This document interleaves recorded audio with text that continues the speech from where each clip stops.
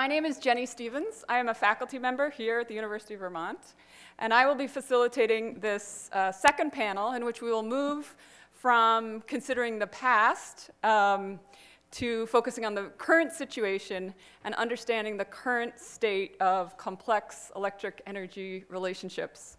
Uh, my own research and teaching here at the University of Vermont focus on the renewable energy transition and societal responses to climate change. And obviously, hydropower is a critical piece of the renewable energy transition. So it is both a pleasure and an honor to be part of the organizing committee uh, for this very important conference.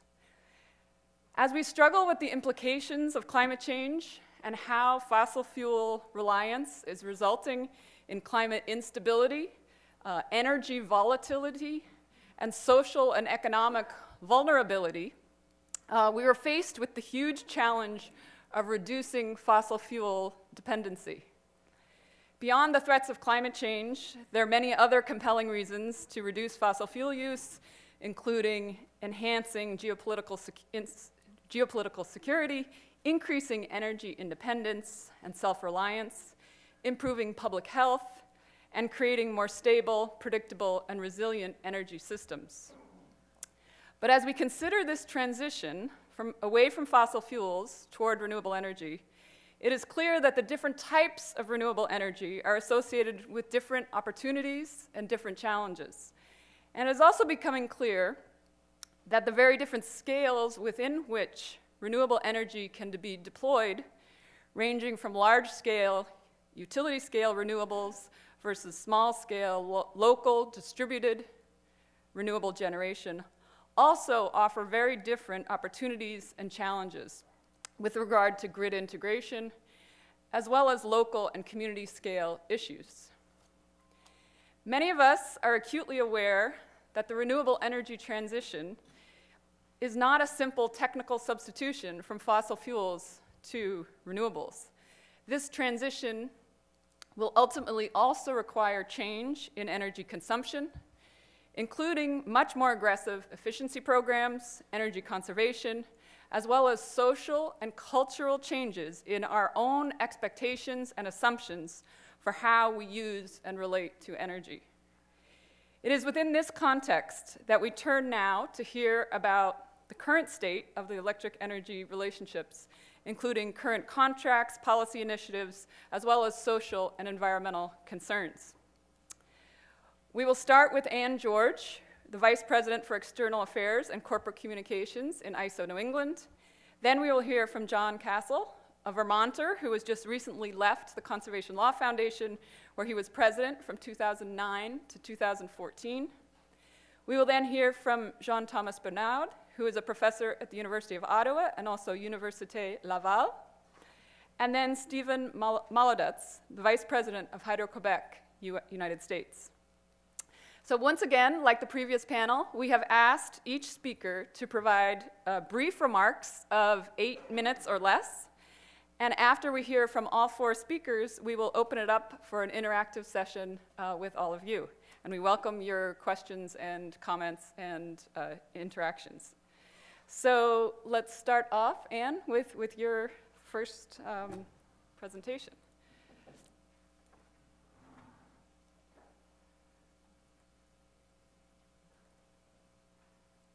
There we go. Great, thank you. So thank you, Jennie, and good morning, everyone. Um, I wish I could give part of my presentation in English and part in French, because I love that. Uh, but unfortunately, I don't speak any. I can say bonjour. That's about it. Um, so uh, good morning. And um, is Louise still here? Because she called me out a couple of times in her presentation. I wanted to do the same for her. But no, no, no, she ran. She ran. Um, but uh, it is a pleasure to be up here in Vermont and uh, to bring some um, you know, a sense of what's happening in the region um, and what, what we're dealing with on a regional level.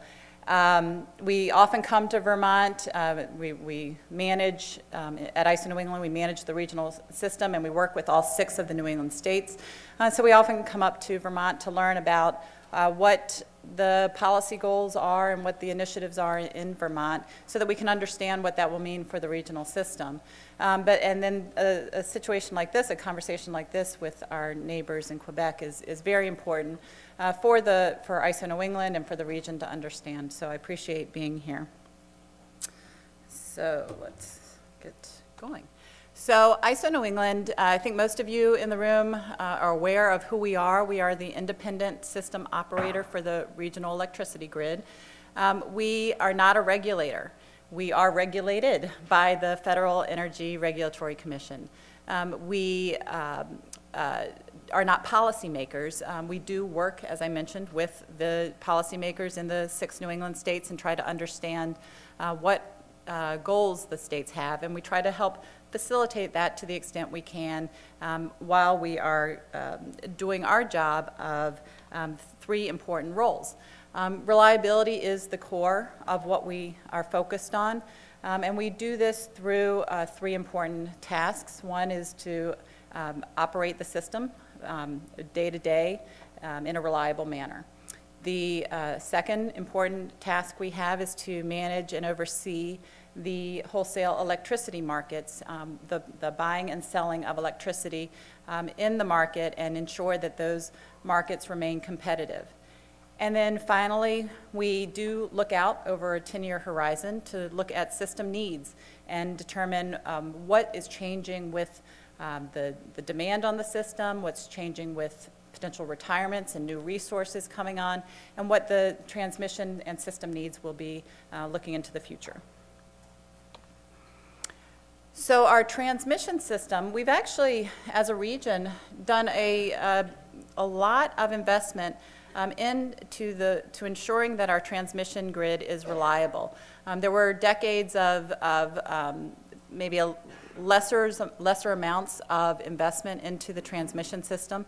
Um, but over the past 15 years or so, we've really um, made some of those investments, uh, built projects. Uh, the, the utility companies that own the transmission system have built projects in each of the six New England states.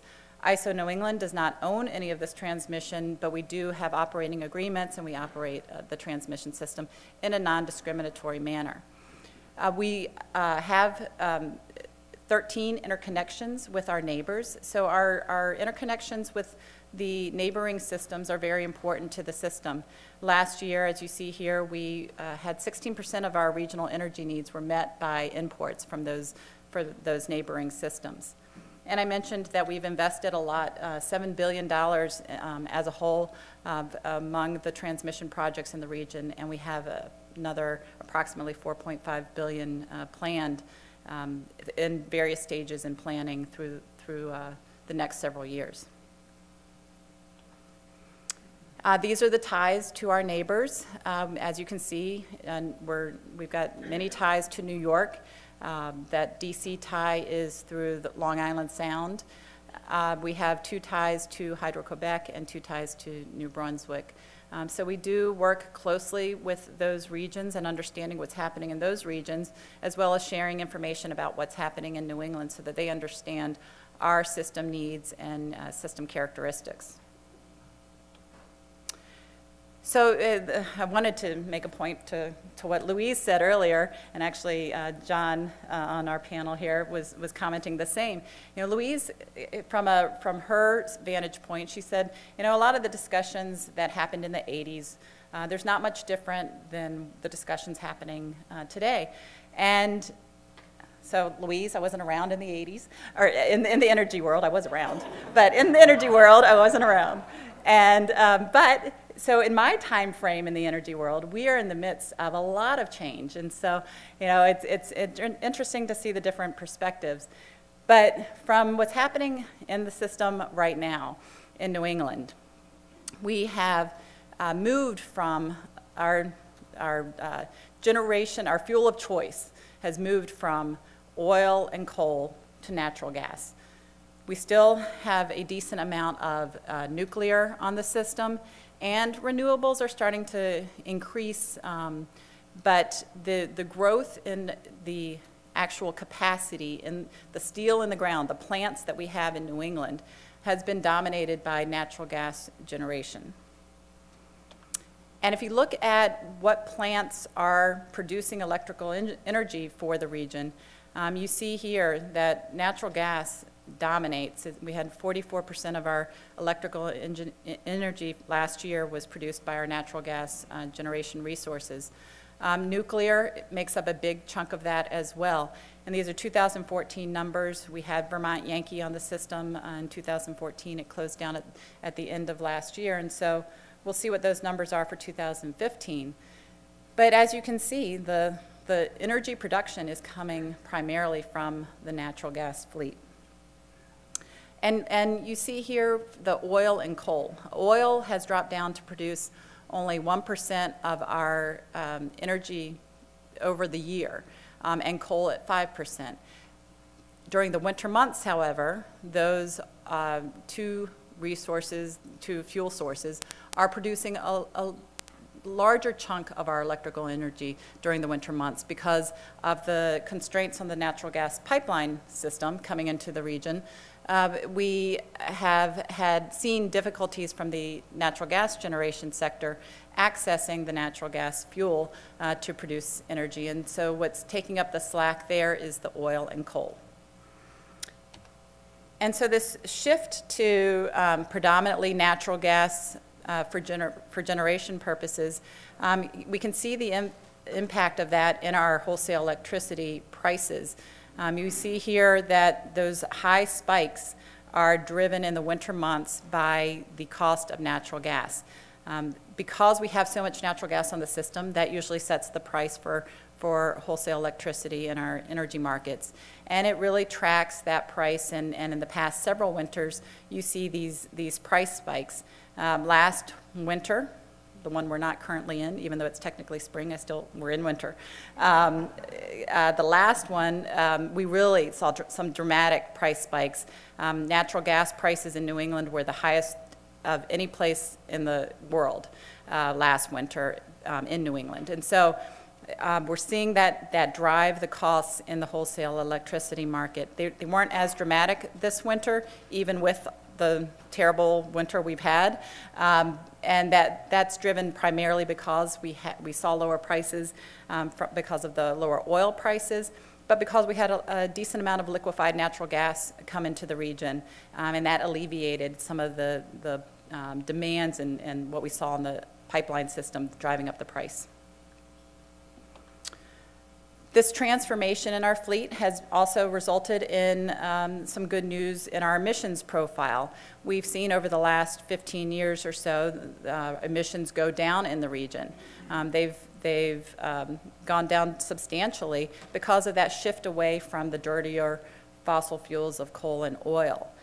However, uh, in the past uh, couple of winters, we've seen that uh, level off and, and actually start to increase a bit because we have now gone back to using some of that oil and coal that had almost gone out of our system, um, but we've, we've had to um, go back to that. Um, and it actually, it's, and it's interesting, coal and oil has, um, or oil in particular, has been more economic than natural gas. And so it runs in our, our markets based on an economic uh, reason, not necessarily for reliability purposes.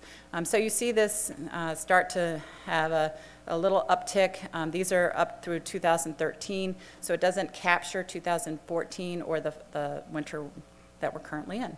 Um, but we expect to see that, that, um, that trend continue while we're in this situation where we are relying more and more on coal and oil than we had in the past.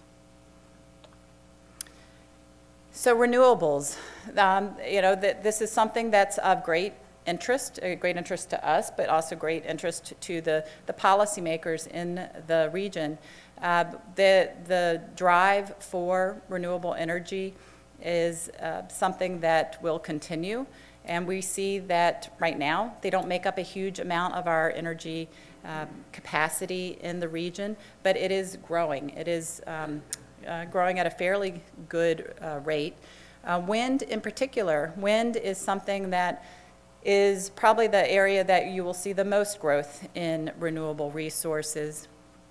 Uh, wind Uh, We currently have about 800 megawatts on the system, but there's a lot of desire to build wind in the region.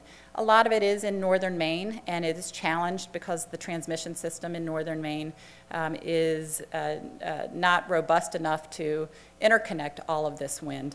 Um, But we see 4,000 megawatts are interested in being developed into the region.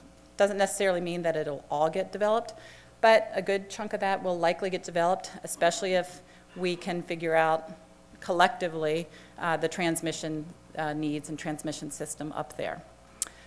Solar. Solar, I know Vermont has a big push to do uh, solar.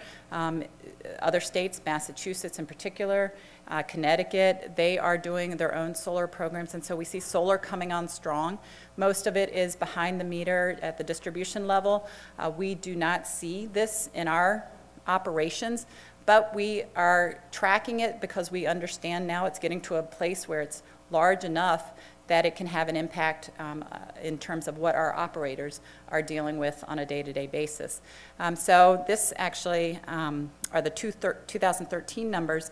We recently uh, put out a draft forecast for solar PV, and it increased the numbers. We think that we uh, currently have about 900 megawatts uh, of solar out there in the region, and we expect um, over 2,000 megawatts of uh, of photovoltaics to be developed um, by the year 2023.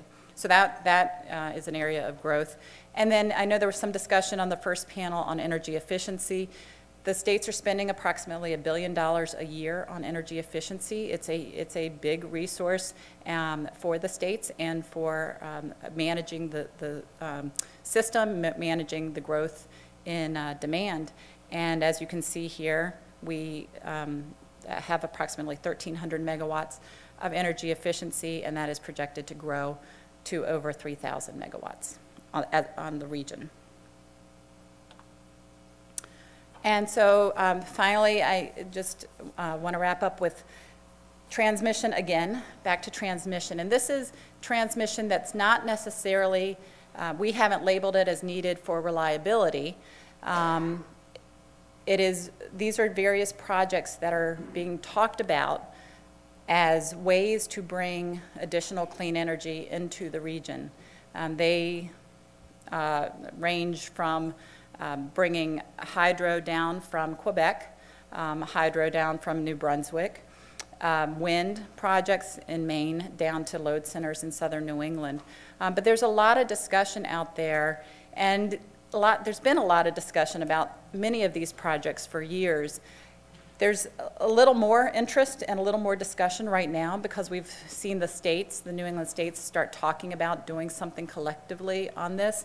Uh, the three southern New England states have issued a request for proposals on uh, transmission projects to bring clean energy down. Um, so there's a lot of discussion going on. From ISO New England's standpoint, we don't necessarily do much with these projects other than to study them to ensure that they can safely and reliably interconnect into the regional system. Um, we, uh, these aren't projects that will kind of go through our reliability system planning process. Uh, They won't have the same cost allocation um, of, uh, among the New England states as some of the reliability projects I spoke about earlier. Um, So these are projects that we are obviously involved in and looking at and, and interested to see where they go. But it's hard to know which of these projects will materialize. Um, It's up to the developers, and I know that, that we'll have some further discussion on that. Um, So I think I'll stop there and um, look forward to the Q and A.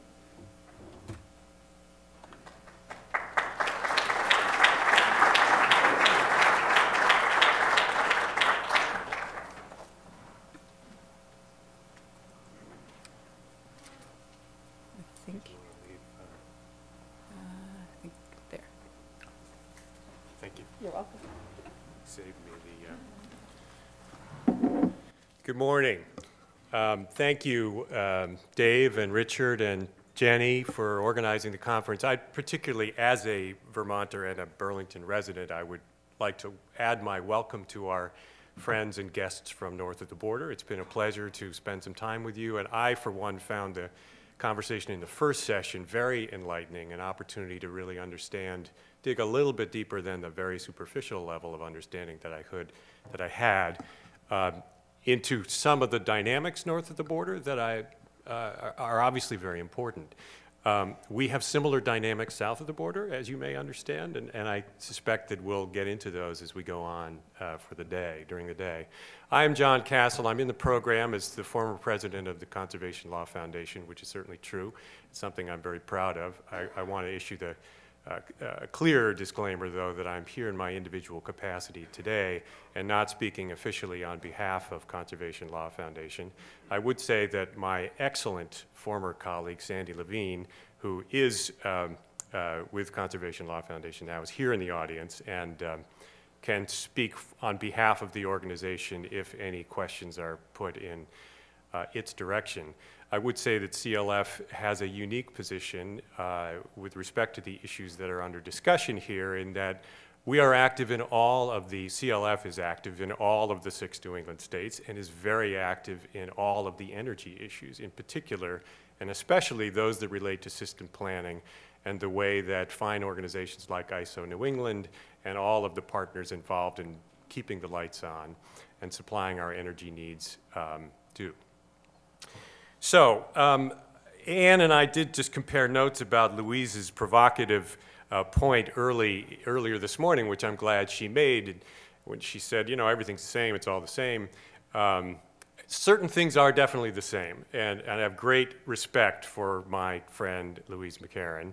She's right, we still have inadequate rate structure. She's right about a lot of those things. I tend to think, though, that things are not the same at all as they were in the 80s. I think we're, it's a bit like an Escher print, if you know what I mean, where you've got fish coming across the page on one side and you've got birds on the other side, and somewhere in the middle they start to blend. I think we're kind of in the middle right now. Uh, and if you're used to thinking of the fish side, we're still a school of fish, right? I think actually we don't know if we're going to end up being birds or something else. There's an enormous amount of change in the works right now, and very helpfully referred to some of it. A whole lot of it has to do with the changing mix, with our um, dramatic increase in reliance on natural gas as an electric generating source, not to mention a source of uh, energy for other purposes in New England over the last 20 years. Um, but from my perspective, and here I think I will reflect generally the environmental community's point of view, we have a firm understanding now that we didn't have five, 10 years ago or even five years ago, that we have to dramatically reduce carbon emissions in the first part of this century in order to um, avert or at least minimize massive destruction and suffering around the world. That's a bit of a downer statement, but I believe it's true. And when you really dwell on the, the gravity of the challenge, the enormity of the challenge and the gravity of the consequences if we don't rise to it, you start to, whether we're, that Escher print starts to look different on the other side of the page. I've put up a very simple slide that comes from the Energy Information Agency, which shows the percent of CO2 emissions by sector of the economy. This is 2011 data for the New England states. Um, and it shows, as you can see, uh, this is percent by state, obviously, the populations are very different, but note that the electric power segment is not the leading cause or source of carbon emissions in any of the New England states. And, in, um, uh, and collectively, if you put it all together, it's actually something like a third. Uh, in transportation and space heating and all of our other energy uh, uses, we emit a lot more carbon through what we do. But the science tells us, and it's worth pausing about this, the science tells us, and there's really no debate about it anymore, that we need to reduce our carbon emissions by 80% below 1990 levels, which is roughly where we are right now, um, by 2050. That's economy-wide. That's not just the electric sector, right? So we could clean up the electric sector, make it a whole lot less carbon emittive, and not do anything about transportation or space heating and all the fossil fuels that, at least in this country, we're heavily reliant upon for those needs. And we're toast. We're not even going to come close to meeting that imperative. In fact, we need to shift a large portion, perhaps almost all of the fossil fuel energy, the carbon emissions from transportation to a non-carbon source. And that is very likely to be highly electric. So imagine that in the next 35 years, we have to not only decarbonize our existing electric load, but we're probably going to have to increase our electric load. A note on that is efficiency is a huge untapped resource. There is a great deal that we can do there, there's a lot that we can do in order to make more of what we have now from electricity. But think of the magnitude of this. Look at those numbers. Vehicle miles traveled continue to rise. Um, uh, fuel efficiency in cars is increasing. That's a good thing. But I mean, in Vermont, it's 56.7% of our carbon emissions is from transportation. And we don't have a land use structure as much as we'd like to believe that we do in this state, for example, that's really going to support a lot of walking and pedestrian, uh, walking and transit. Um, this is a massive challenge for us. If we start to shift space heating, commercial and industrial use, and the transportation sector to the electric sector, it just gives you a sense of the nature of the challenge we have. So, and that challenge, I would note, is, um, how do I go forward, is, is similar, does not, what's working here? Arrow down. Don't have an arrow down. The shelf, okay. Well, anyway, this is, um, just so that, just for context, this is also uh, similar to the national picture. So this is, the, this is the challenge that we face. And I wanted to spend a minute or two on it because it's really important that we frame all of the discussions about the evolution of our energy system, our sources, and where we're going to get them from and what we're going to do with them uh, from this perspective. I would also note, not to dwell on uh, the gloom and doom, but it's also likely that in the middle of this century, uh, New England will be in a position to absorb significantly more population. There will be parts of the world that are not going to be habitable in the way in which they are habitable now by mid-century. Uh, imagine hundreds of millions of people who live in low-lying areas of South Asia. Imagine hundreds of millions of people who live in hot, dry places that are going to get hotter and drier and are going to become very difficult to live in. New England's going to have water. We're going to have a lot of opportunity as a result, and I would submit here speaking entirely personally, that we will have a moral obligation to accept population that we're not even thinking about right now. So in New England, not only do we have to shift load to the electric side and decarbonize the electric side, we may actually increase in population significantly by the middle of the century, if not by the end of the century. This is really a massive challenge, and it is a large planning exercise that, um, frankly, nobody is really doing. And I say that with great respect for my colleagues at ISO New England.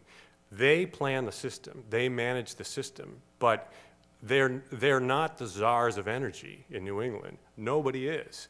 As I think Louise mentioned on the first panel, um, you know, we make energy policy in New England, you know, by governors, they do this, they do that, they'll collaborate when they want to, and I have great respect for all of our governors, uh, but she's right. They're somewhat opportunistic. They'll do what they need to do. They'll collaborate together when it suits their needs, and they won't when, they, when it doesn't.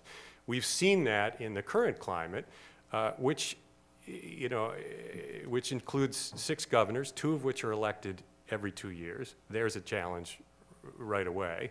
Uh, in two states that are important for transmission purposes, uh, you know, to note.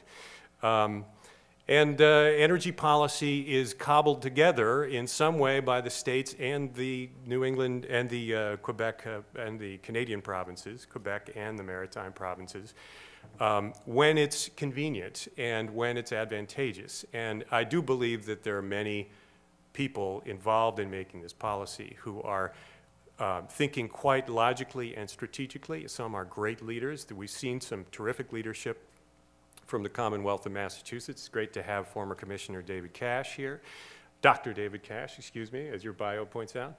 Um, but it's difficult to herd these cats. Um, so that's the challenge that I think we face, and which leads me to conclude that it's not everything's the same as it was in 20, uh, in uh, 1980 and 1990. In fact, we're at a very significant inflection point. Um, now is a time of enormous change. Much of what's happening is what Anne described. We've, um, the low natural gas prices have obviously had a lot of effects. One of those has been that it's enabled us to shut down a lot of our coal plants, which needed to go. Um, we've gotten off oil, which we used to burn to make electricity. We've seen more renewables come on. We're starting to see the emergence of the smart grid. Uh, if anyone has questions about that, uh, our moderator, Jennie Stephens, will respond to them. She's an expert on that. Uh, efficiency investments in the states and the provinces that are doing them are really bearing enormous amount of fruit, and we're seeing what we can do with those. And particularly in Vermont, as um, Deputy Commissioner Springer said earlier, we're seeing a great deal of distributed generation. And that I would submit, which is small production, largely renewables, uh, in some parts of the region, uh, fossil fuel based, but strategically based within the grid in order to support the grid in a way that can maximize the benefit from what we, from the grid, from our investment in the grid. Uh, the future is clearly in renewables, and in, I would submit, all of the New England states believe in a robust renewable energy sector within each of our states. Last night, some of the panelists um, were treated kindly by the uh, university to dinner, and um, uh, one of uh, one of our hosts put out the provocative question. So, well, is it really a question of we're going to get transmission lines from the north or gas pipelines from the south? Which is kind of an interesting way to frame this. For those of you who are northern New England focused, I know there's been a significant natural gas um, uh, discussion in Vermont lately. Um, you may not know that in southern New England, it's not just a discussion about natural gas. I mean, it's an onslaught. It is the, the pressure to expand the interstate natural gas pipeline into southern New England is intense. And there, there have been proposals to do it in a very big way. Um, in the same way that I think many in northern New England, particularly our friends from New Hampshire, and I know there's at least one audience member from New Hampshire, feel a bit um, uh, like there's been an onslaught of, of electric transmission lines coming or proposals coming from New England. My perspective on this is that either one will do, but only if done very carefully. Some expansion of natural gas used wisely is a very good thing to alleviate near-term crunches both on the electric generation side and on the heating side in New England. Uh, just like some importation of cleaner power than we uh, normally get within our system uh, in New England from Canada, from someplace in Canada, is, is a very good idea. Each of those power sources coming in have to first and foremost take offline dirtier power. They have to replace dirtier stuff. And secondly, and this is an equally high priority, frankly, they have to support the development of renewable sources within New England. Power generators, power transmitters, be it natural gas or electricity, know how to craft uh, arrangements that will make that work. And I would submit that the, um, uh, the power transmitters, electricity from the north or gas from the south or the west, that will thrive and will win in the uh, race to figure out who's going to be part of that picture on the other side of, you know, on the other side of the Escher print, are those who are savvy about that, who will understand that New England states want renewable power. New England states, by and large, believe in the climate science, and New England states will not negotiate for power that throws them off of the future that they're starting to see evolve in their states, which is one of widespread uh, distributed renewable generation, of significant and ongoing and sustained investments in efficiency, which are, after all, our best investments. There plenty of, pl there's plenty of room for good investments in efficiency going forward. Um, and importantly, and, and I, I note this in particularly, uh, in particular in light of the experience that's uh, been had in New Hampshire uh, lately, that recognizes the importance of equitably sharing the burdens and the benefits of major investments in the system. Um, I found very interesting the conversation in the last panel about the, the north-south dynamics within uh, Quebec. Uh, and obviously the First Nations in Quebec have a uh, unique fundamentally different position than um, any other residents of North America, quite frankly, in their region. There's a little bit of a north-south dynamic in New England that I think is worth surfacing here. The load is in the south, right? That's where people need power. Eastern Massachusetts, Connecticut, Rhode Island. Um, the transmission corridors tend to be across the north. Maine, New Hampshire, Vermont, perhaps northern New York. There's the great potential, I believe, for uh, undersea uh, transmission cables, which resolve some of those issues. But um, exporters of, of power from Canada who treat northern, the northern New England states as nothing more than a transmission corridor. And I'm being somewhat flippant, and I don't mean to be offensive to anybody by that, but let's be clear about it. If that's the attitude that is perceived by the states that are being asked to accept those projects, um, those projects, in my opinion, will have a far harder time getting to market uh, and will, um, by, the, by virtue of uh, projecting that approach or taking that approach, will make it very difficult to, for all the parties to engage in the kind of collaborative discussion about the terms on which the power is going to be used in New England. So I would strongly suggest that whether it's a gas pipeline from anywhere uh, or, uh, a, or a transmission power line from anywhere, um, there ought to be significant uh, attention paid to what's in it for the communities that are going to host that power line. And those are conversations that have to be had way up front. And I think there are some projects in the works today that are doing, that have learned from some of that experience and are doing a very good job with it. Uh, finally, let me just note that uh, back to agree with our colleague Louise, one thing that really hasn't changed is that nobody plans this. Uh, and I, I, offer this for everybody in the room, but particularly the students. Could I just note how many students are there in the room today? Terrific. Uh, are any of you interested in political science or government or uh, the policy side of things? That's great. You've got a career ahead of you, let me just say. Um, we are just as we don't have a global energy policy and we don't have a national energy policy, we don't have a regional energy policy. And we don't have a governance system that is designed or even suited, quite frankly, to developing that policy. ISO New England does a terrific job keeping all of the masters that it has to observe, and it's, it's independent, I understand that.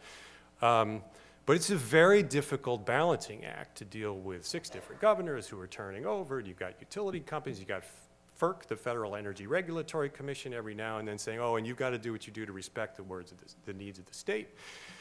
The states in the region, you've got environmental groups like many, you know, pushing uh, their agendas. It's tough. It's very tough. This is, this, this is sausage making, sadly. Um, with, with a lot of money at stake and very high stakes if we don't do it right. Um, it isn't to say we have an unreliable system. We don't. We have a highly reliable system, and that's one thing that I think has been accepted as a, as a given. But I would submit to you that in this respect, it is 1980 again. It is 1990 again. And um, uh, just as uh, many uh, companies that have, that are private companies that uh, carry out uh, public interest activities or activities that have a, a public good element in them have begun to open up their governance to greater involvement by those who represent the public. I believe that that's going to be necessary if we're going to do this right, which is to say efficiently and with a good outcome at the regional scale. For, so for those students who are interested in this, I encourage you to dive in. I'd be happy to talk with you at the break. So thank you very much.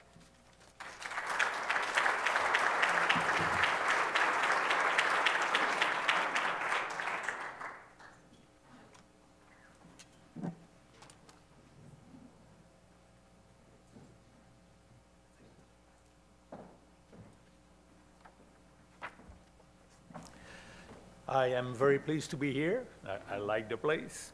Nice place, yeah. so um, uh, I am go. You have a few.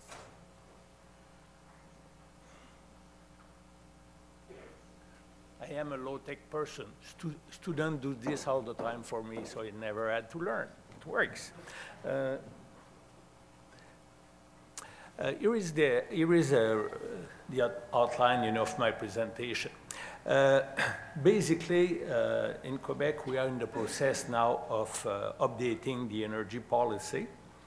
And the, there is a, a- wide set of questions that are being addressed.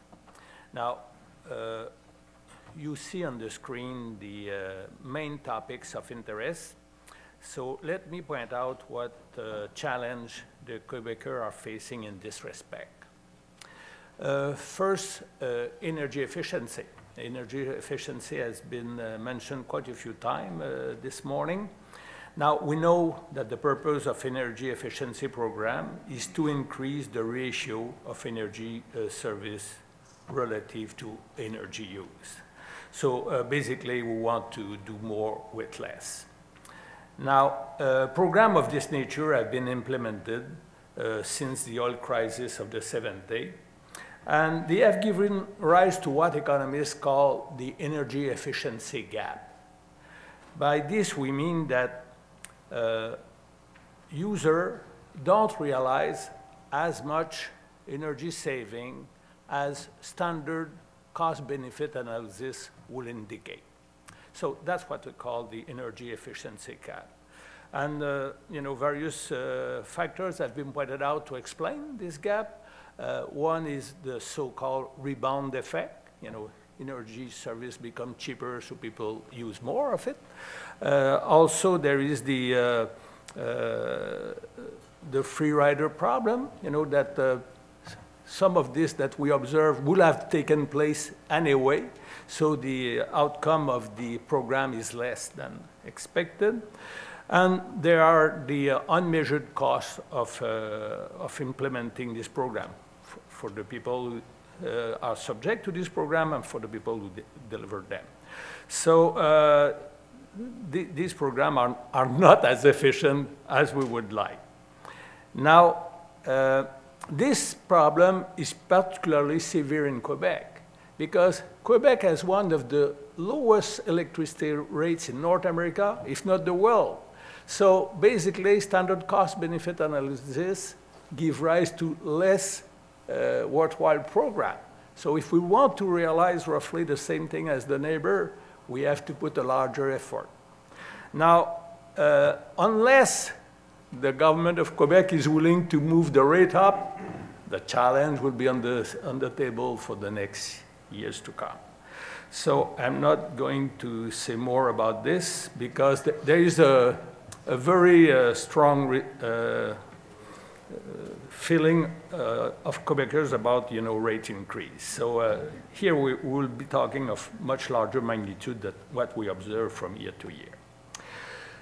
Now, let me move to uh, renewable energy. Uh, the first question I want to address is, uh, you know, uh, is the question of the development at this stage. Do Quebec need more electricity now? And we are in a surplus position, so we don't need more electricity now. So uh, before analyzing with what type of uh, renewable energy source we need to develop, we should also consider the need itself. Uh, so right now, uh, there is no immediate need for new uh, source of electricity because you know there is a, a debate about how, bar, how big is the surplus, but it is there and it is fairly big. Uh, big enough for the government to have implemented a surplus a policy with respect to you know getting over this uh, this uh, energy surplus. Now, uh, so uh, ba basically, when we consider renewable, renewable energy at this stage, specifically uh, hydro project, we should be uh, concerned with respect to the market, you know, for, uh, for this electricity. Uh, we must recall, you know, as I've mentioned, we have real cheap rates in Quebec. It has definite impact, uh, and this is based on costs. And there, there have never been any subsidy, direct subsidy from Hydro-Quebec to, to uh, its, uh, its utility. So overall, over time, uh, Hydro-Quebec must have done a reasonable job so that costs are low. Now, uh, we have developed hydropower site uh, through an increasing order of costs, and that was the thing to do. Uh, and the manifestation of this is that we are moving further and further north. You know, cheap, cheap accessible site were developed first, and now we are way north. Now, uh, since you know uh, we, we are moving north, uh, costs are moving up too. And uh, uh, right now, what we call the marginal cost, the cost of new development, is much higher than the average. You know, let us say that the average is something like three cents per kilowatt hour. Now, uh, new power site like La Romaine, there's a, a, bit of dispute, but it is definitely way above that according to my own calculation, like 8 cents per kilowatt hour. And, and the next uh, hydropower site will be more expensive. You know, we are moving up. So the question that we have to consider as a Quebecer is, is there a market now, either internally or uh, within the neighboring uh, region, is there a market for electricity at 8 cents per kilowatt hour. And nobody now is showing up at the border and say, look, I would like to sign a contract for 20, 25 years at that price. Nobody. So, uh, and obviously, aluminum plants don't want electricity at 8 cents per kilowatt hour. They're, they're, you know, their kind of ceiling is something like 3 cents. You know, we, we don't want to pay more than, than 3 cents. So there is a huge gap there.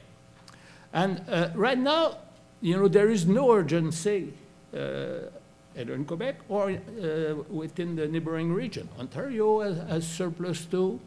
Uh, New, uh, New England, I think, is in no rush to uh, have additional supply. We may find all kind of strategic reason to change the mix of uh, electricity source, but right now there is no there is no urgency. So um, uh, that's, I think, a, fun a fundamental question. Uh, you know, uh, other things will stay on the table, and maybe as time go on, it will be time to address. But at this stage, I don't think it is uh, uh, that you know the market is presenting a good opportunity for uh, long-term development of renewable power source at this high costs. Now, there, uh, uh, Quebec has one valuable asset that will stay there for a long time. Although, you know, right now there is a lot of uh, work that is go going on to find way to store electricity because of this incoming uh, intermittent, uh, intermittent power. Uh, so th there is a, a need for that even in a slow-growing system. Now, Quebec has uh, a, a, huge there that has been mentioned this, mo this morning. It is the capacity to store water, you know, and it's there and it will stay there for years. So uh, when th the times come to develop further renewable power, which will be most probably intermittent, either from sun or wind, I, I think that uh, this will still be very uh, valuable. Now, uh, we have not talked about much about oil. Uh, uh, in that respect, uh, Quebec is no, no different from the other region, uh, neighboring region. You know, there is a concern about the long-term impact of uh, fossil fuel use. Obviously, the, the context in Quebec is, is, is, is different. Uh, here, I would definitely would like to point out the difference between consumption and production. Uh, for consumption, our concern is very much like everybody else, and also, uh, uh, you know, there are a lot of talks about uh, using more electricity. Now, using more electricity, I come back to my, the point I, I have already made. You know, new electricity in Quebec is not cheap. So if we want to move that, uh, that way, uh, the cheap electricity is already used. Do we want to increase rates so that people will stop, you know, heating their house with electricity? That's a big challenge. So uh, de- uh, developing uh, new hydro, uh, dev- developing new source of electricity to support a shift from fossil use in transportation to uh, electricity use, uh, you know, the challenge will not be very different from relative to the other area ar- around us. Now, uh, we have also once in a while a debate about uh, oil production in Quebec.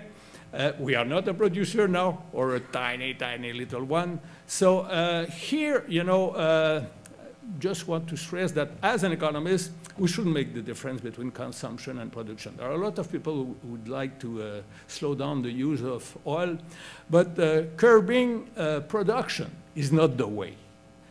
Curbing consumption is. So when, when the question come up whether we should develop some oil, uh, I think it should be looked at from the you know, profitable basis for the whole society, but whether we produce it uh, or not, we'll still be using it.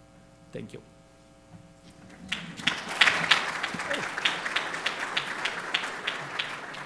I failed to mention that we are one year ahead with respect to the uh, formulation of a new policy in Quebec. You know, we, we should have waited uh, what will be the outcome of the uh, Paris meeting on, on climate change at the international level.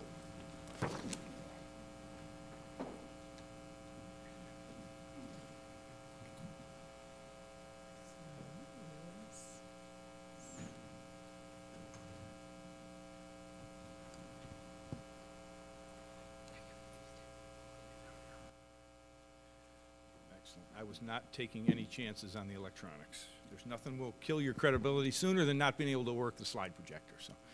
Uh, good afternoon. Uh, my name is Steve Molodetz. I am the Vice President of Business Development for HQUS. We are a subsidiary of Hydro-Quebec, and we are based in Hartford, Connecticut. Um, we sort of feel like we have a resource that, unlike any other gener- generating resource, can address a wide range of reliability and public policy challenges in the region. Um, But, but that resource isn't without its challenges to get more into the region. And, and talked about a little of the- the regional challenges. I'm going to talk a little bit more about the challenges of transmission so we can bring more of that product in. Um, HQ, as we like to call it, is among the largest electric, electric utilities in Canada. We're one of the largest hydropower producers in the world.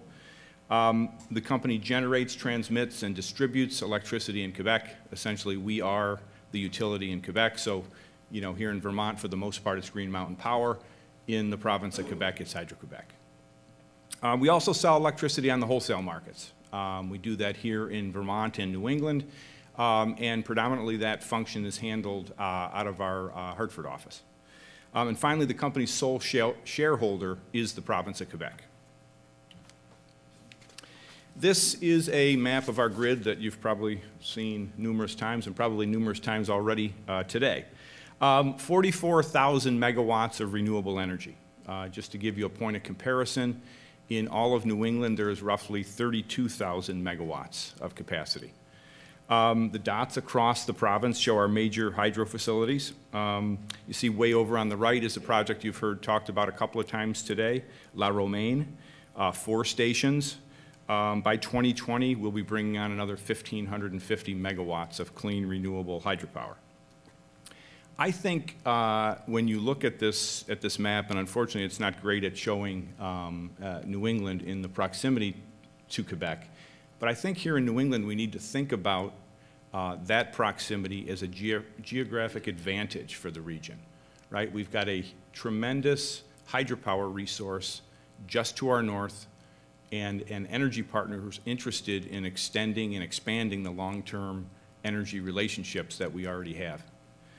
Um, We also have one of the largest transmission systems in the world, 21,000 miles of high, uh, high-voltage transmission lines. There are two interconnections, as you've heard earlier today, with New England.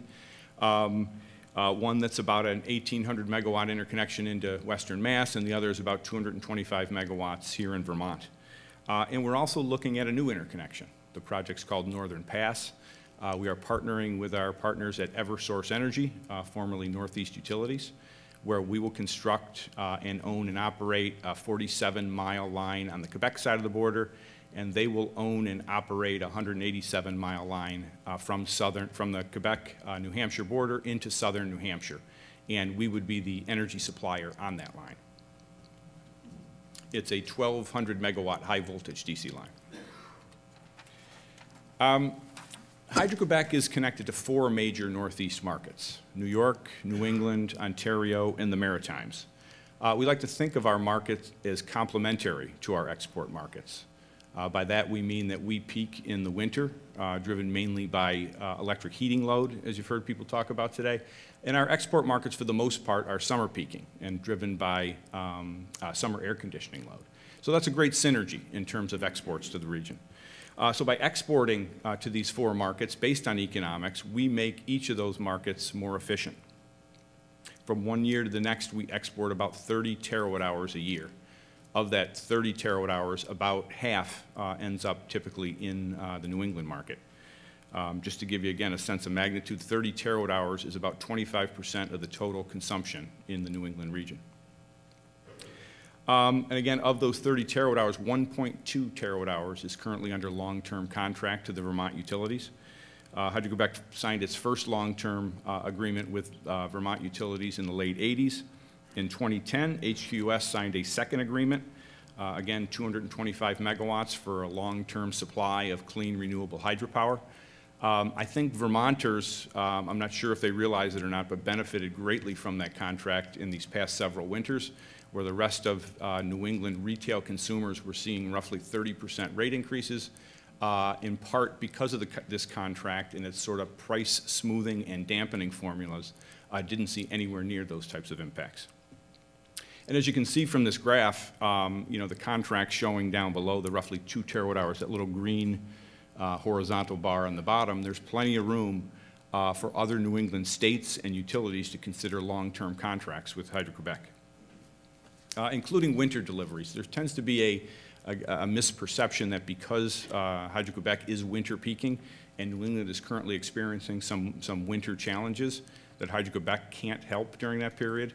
Uh, simply isn't true. During uh, the peak periods in, in our coldest spell uh, this past January, we we're exporting roughly 1,700 megawatts an hour.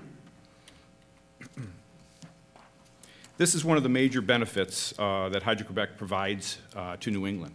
At a time when greenhouse gas emissions and carbon footprints are on everyone's agenda, hydropower generated in Quebec is one of the lowest carbon emitting sources of energy, pretty much equal to wind uh, on the basis of a uh, life cycle analysis.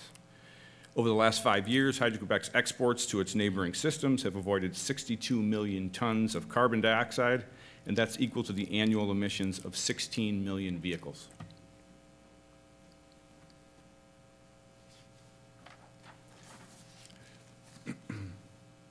Uh, Anne touched on this uh, briefly, and you've heard uh, others mention it as well. Um, but, but I'm going to dive in a little bit deeper. Um, that we feel our deliveries into the region help with a number of uh, New England's energy challenges, and I want to touch on those uh, briefly. Uh, the first challenge is reliability. as Anne talked about, the increase in natural gas-fired generation having gone from about 15% in 2000 to roughly 44% this past year which by itself uh, isn't necessarily a bad thing and has some environmental benefits, generally replacing dirtier fuel. Uh, the problem is the pipeline system to bring gas to those generators hasn't kept pace. It's a pipeline system that was really built for um, residential and, and uh, commercial heating load. So in the winter months, when that pipeline's being used uh, to meet that peak demand, there's very little natural gas left for uh, natural gas-fired generation and the little gas that is left is going to be very high priced. And very high priced gas leads to very high priced uh, electric markets. Uh, I think the ISO estimate from this past winter is that wholesale uh, energy costs were $3 billion higher than the previous winter, predominantly because of this issue. So uh, the, the increased reliance in natural gas has both reliability and consumer cost issues. The final challenge is the region's desire to transition to clean energy sources. I think most of us are probably aware of uh, the aggressive RPS targets in the region, but the states have also uh, pursued uh, legislation and programs to reduce uh, GHG emissions significantly.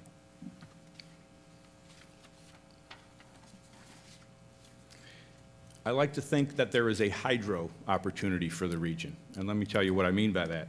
Essentially, we think the hydro opportunity is achieving multiple market fundamental and public policy benefits with a single resource. There's a couple points on this table I'd just like to touch on. Uh, first of all, new supply. The ISO has estimated that 8,300 megawatts of non-gas generation is at risk to retire by 2020. And these retirements have already begun. 4,100 megawatts in the 2013-14 timeframe, including Vermont Yankee. We think of new hydro resources as being poised to help fill that gap. The second is cost. Incremental energy supply from a low operating source like hydro will have downward pressure on wholesale prices.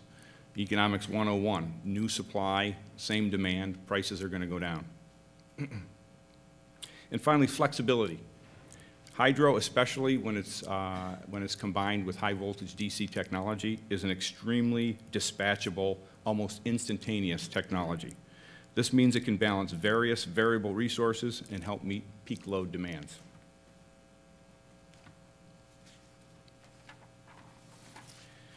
So if hydropower offers all these great solutions, what's the issue with getting more of it into the region? Why haven't we been able to accomplish that? Probably the first issue that comes to mind is the funding model for the new transmission projects that are needed to deliver additional hydropower. Given the economics of such projects and the current market conditions, a regional funding or beneficiary pays model is needed. Although it's probably a surprise to many of the people in the room, this isn't a tremendously new idea.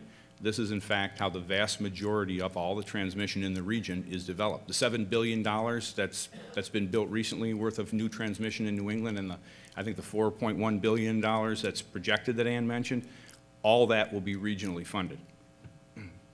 The second thing is siting, and we've talked about this several times today, a major challenge for any, any energy infrastructure project whether it's electricity, whether it's transmission, gas pipelines, uh, wind farms, communities are reluctant to site energy infrastructure projects in their backyards.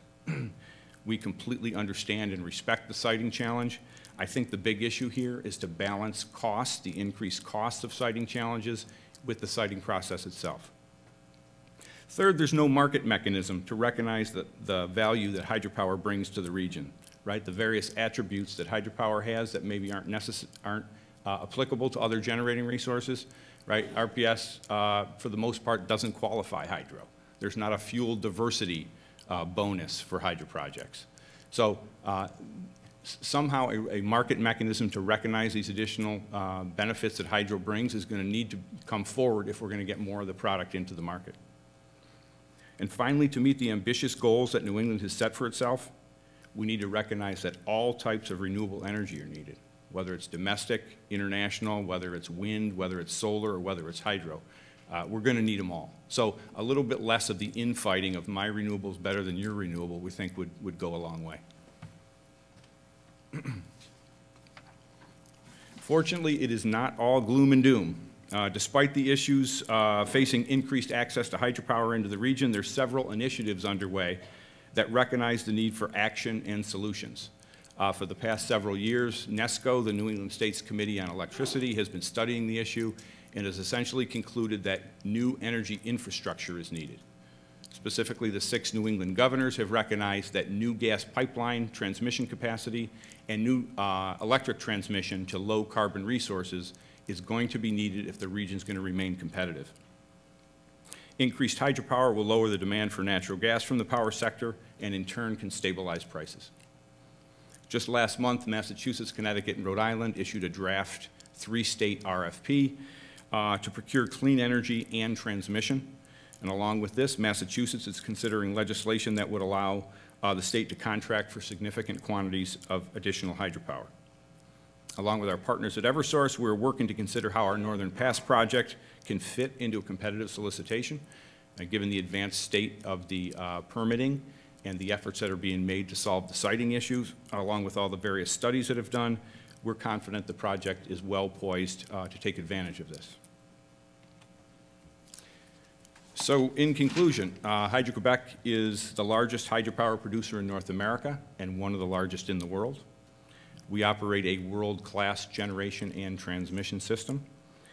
And we feel we can be a solutions provider for the challenges facing the New England region. So thank you very much for your time, and I look forward to the questions.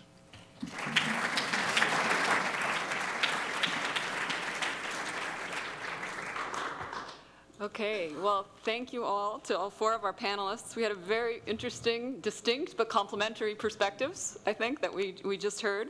So what I'd like to do is um, open it up. Uh, I think our speakers uh, did go over the eight-minute limit, so we have uh, about 15 minutes before lunch. Um, So I would like to open it up directly and to, to questions.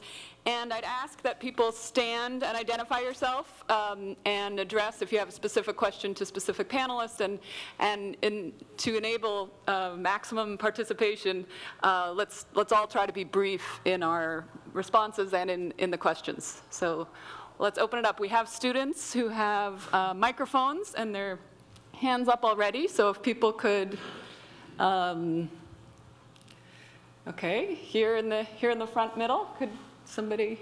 Here we go. Thank you. And please, yeah, introduce yourself and. Thank you. Uh, Tom McGrath, Rice Memorial High School.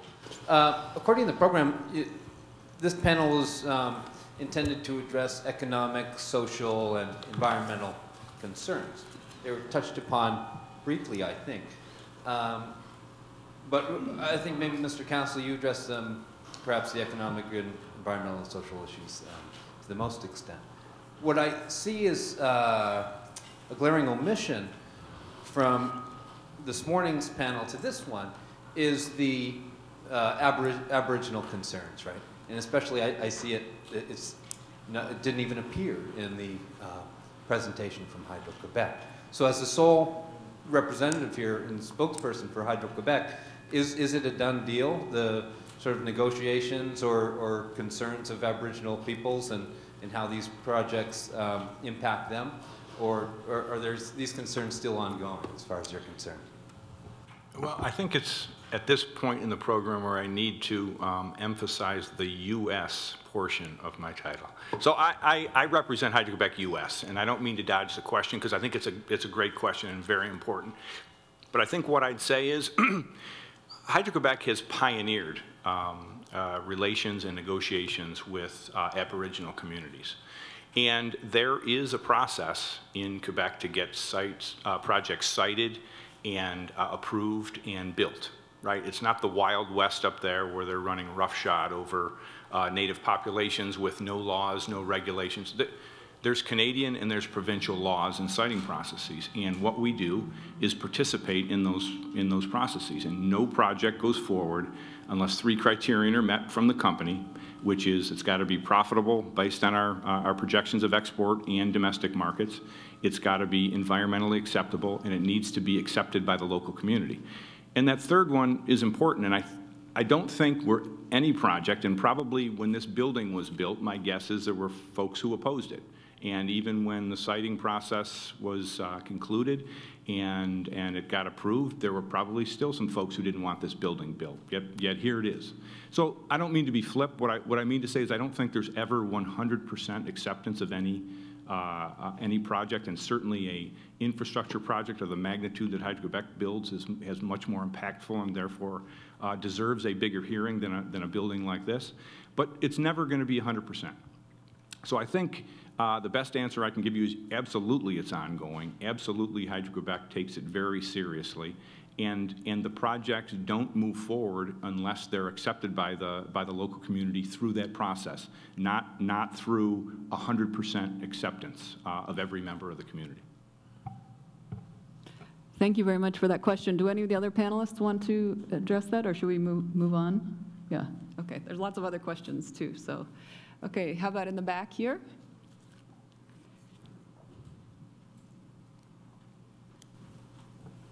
Uh, Fran- excuse me, uh, Francis Lacombe with uh, Technostrobe in uh, Montreal.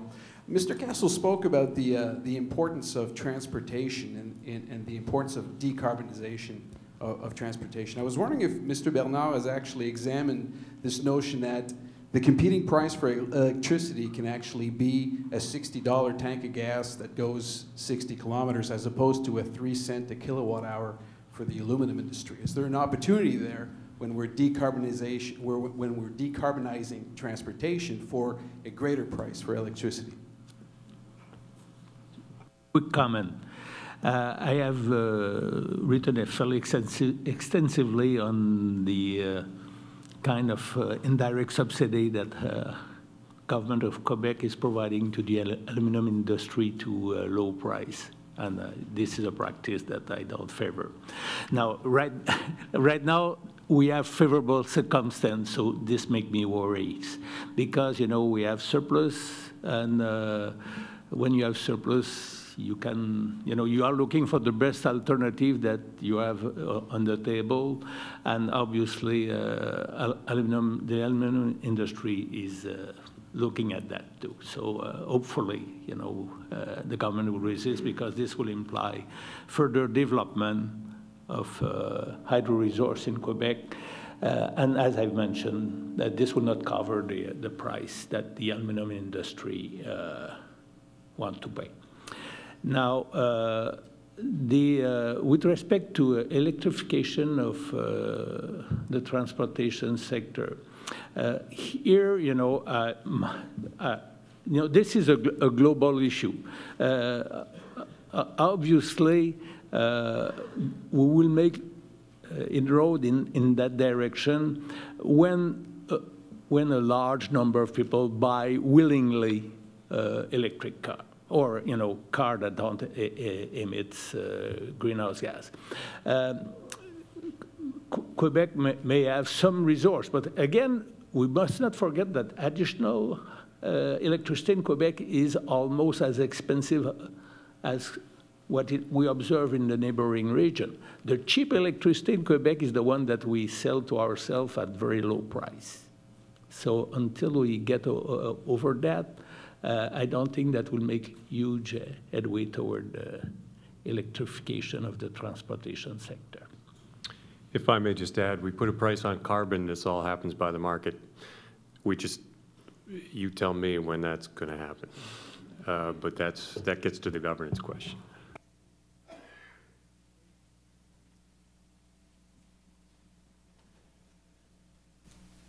Um, Amy Seidl from the Rubenstein School of Environmental Studies here at UVM.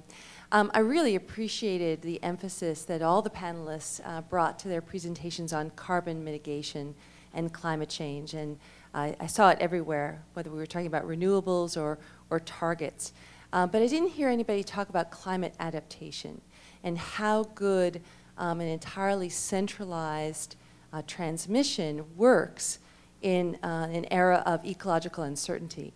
Although we did hear from um, Anne about the rise of renewables and the possibility of solar working from a decentralized position, I didn't hear from others about what kind of resilience are we developing to increasing uncertainty and variability in climate um, that then uh, puts our, our electricity systems at risk. So I'd just like to hear comments from any of the panelists on that point. Who would like to? Well, I'll just add, um, we are seeing uh, a lot of movement to, oh to uh, more microgrids, um, more of this distributed, uh, fanned out um, energy um, grid type system. Um, so we are, you know, we're seeing the transformation happen, and I think that's only going to grow in the future. Um, how that is managed is going to be tricky. It adds to the complexity of managing what's on what's what's on the regional grid and what's off the regional grid, and how do you watch what's going and how do you manage that. And so it's going to add to the complexity, but we definitely see that um, movement happening. And I think as uh, more and more customers get involved in their energy usage and energy choice, it's going to just make the whole system much more complex. And you're going to need resources available uh, to manage that, that variability. Um, and so the, the um, quick start, available, flexible resources are going to even be more important in the future. If I could just add, it's a great question. There's, it's an, it's a great opportunity for us. It's just another part of the system that's changing, and it's an expensive part of the system.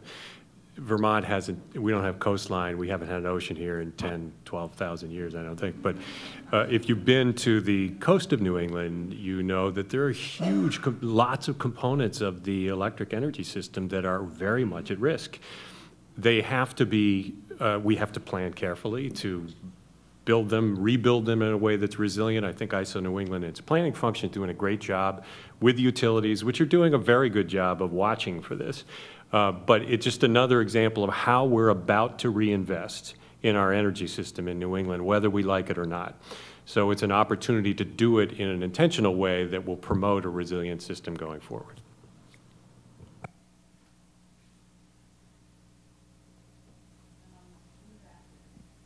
Sorry, in the back. Yes, I, I would like uh, Kosai Samak, uh, University of Montreal, um, Environment Sustainable Development uh, graduate program.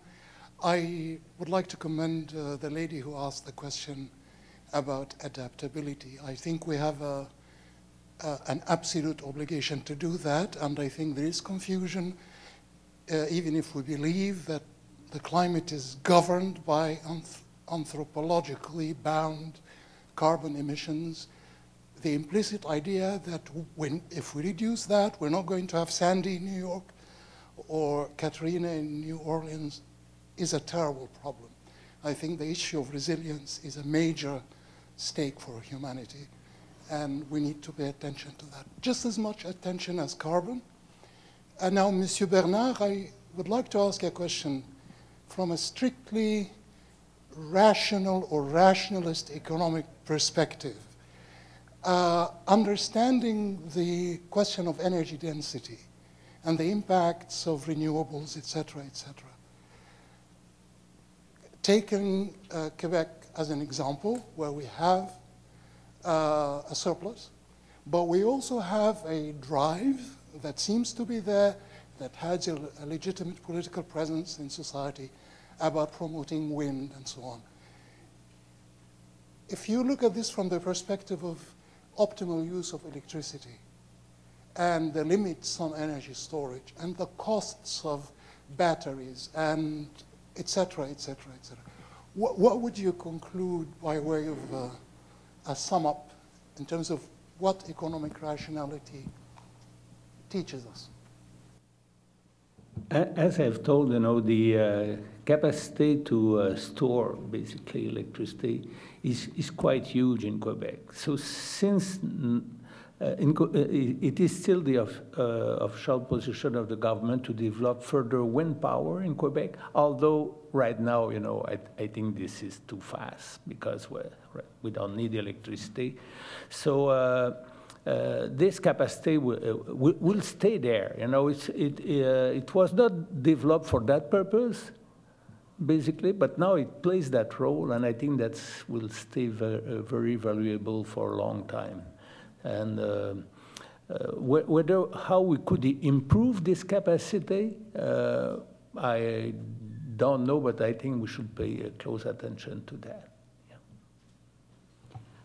I think we have time for one more question, but I also just wanted to return to this, this comment about resiliency and climate adaptation. And I think one thing that um, we need to keep in mind is this balance and complementarity between decentralized systems, energy systems, where, where individuals, households, and communities have the power to have more influence and engagement with their energy system versus large-scale, um, uh, large-scale utility scale centralized systems. And I think that's a real tension and um, obviously, we need both as we move forward, and both are moving forward. But I think the resiliency questions are particularly relevant when we think about enhancing the decentralized systems, and that's in, uh, similar to what Anne, what Anne was mentioning too.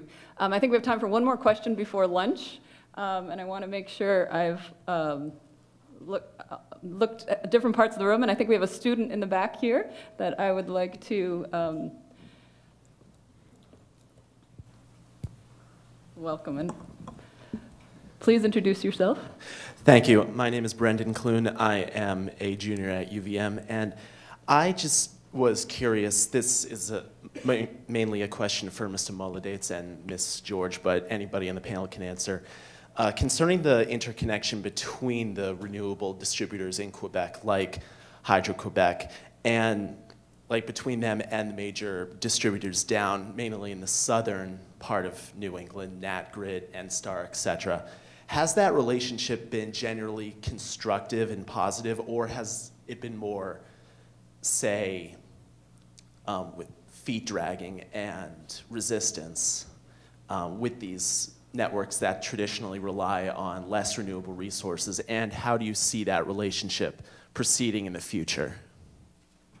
Uh, Yeah, i- i- great question. If I understand it correctly, um, uh, I think the relate, for the most part, the N-Grids, the N-Stars, the Eversources, they are not themselves uh, heavily involved in renewable energy sales, right? They are more buyers of renewable energy power as, as their various state RPS programs require them to.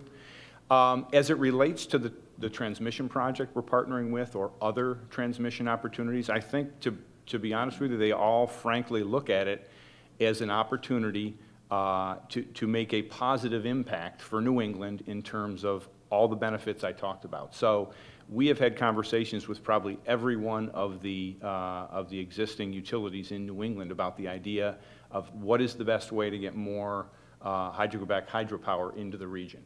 And the reason they're interested is twofold. One is, one is uh, kind of shareholder related, and that is, sure, they're, they're interested in uh, developing a transmission line that they'll earn a return on. And the other, I think, is a little more altruistic and is in the, in the interest of their customers because they see the benefits we do and they see the challenges we see, which is the over, over-reliance on natural gas. And what are we going to do about that? If not Hydro-Quebec hydropower as a new baseload resource uh, uh, um, uh, enabled by a new transmission line, what is the new baseload uh, source of power going to be in New England? I think they look at, is it more gas? Well, that tends to exacerbate the, the pipeline problem we talked about. Is it another nuke? I find it hard to believe. I mean, my bracket is busted in the NCAA, but I think I can figure this one out. There, there is not going to be another nuke uh, built in New England, right? Coal and oil have the environmental uh, emissions um, problems we talked about. So we're down to other, uh, you know, uh, Hydro-Quebec hydropower and other renewables. The other renewables tend to be uh, less available in terms of just the sheer quantity, and they tend to be uh, intermittent, whether it's solar and, and requiring the sun or whether it's wind and requiring um, uh, requiring the wind to blow, whether it's uh, wind power.